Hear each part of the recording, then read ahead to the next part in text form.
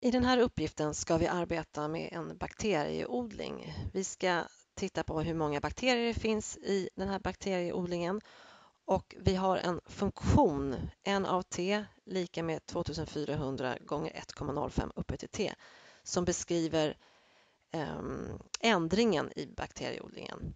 Och t, det är tiden i minuter.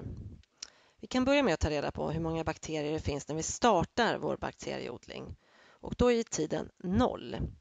Och då stoppar vi helt enkelt in värdet 0 i den här funktionen och då blir det 2400 gånger 1,05 upphöjt till 0.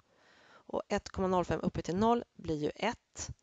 Så svaret är då 2400, det vill säga det är så många bakterier som finns när vi startar vår bakterieodling.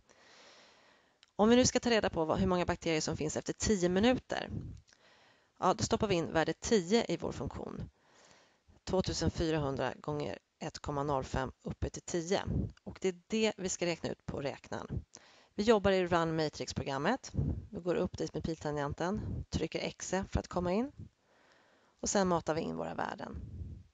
Trycker vi 2400 gånger 1,05 därefter upphöjt till och här lägger vi in 10.